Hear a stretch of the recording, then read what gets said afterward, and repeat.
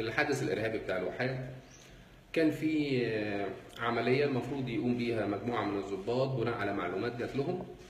آه، الضباط والأفراد طلعوا على حسب التعليمات وحسب المعلومات اللي جات لهم وراحوا الواحات أو راحوا المكان اللي هم كان المفروض ينفذوا فيه المأمورية.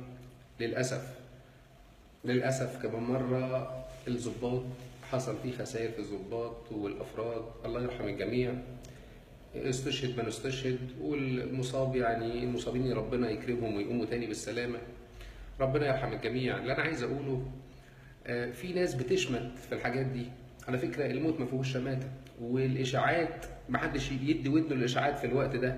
المكالمات اللاسلكية أو اللي إحنا سمعناها الكلام ده كلام فارغ. إحنا ما بنتكلمش أصلا بالطريقة دي على الأجهزة وما بنتكلمش في الأحداث ال- ال- ال- القوية دي بالطريقة دي وبالبرود ده.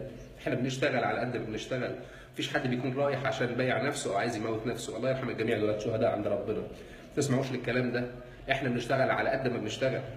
وربنا بيكرمنا. ومش معنى إن في حاجة حصلت معانا إن إحنا بنبقى مقصرين بالعكس. يعني إحنا الواحد بيحزن جدا. يمكن الناس اللي ماتت دي اللي استشهدت دي الواحد عارف فيهم ناس بمعرفه شخصية. الواحد يعني مش مصدق وهو بيتكلم إنه بيتكلم على ناس هو عارفهم شخصيا. الله يرحم الجميع. ما حدش صدق حاجة.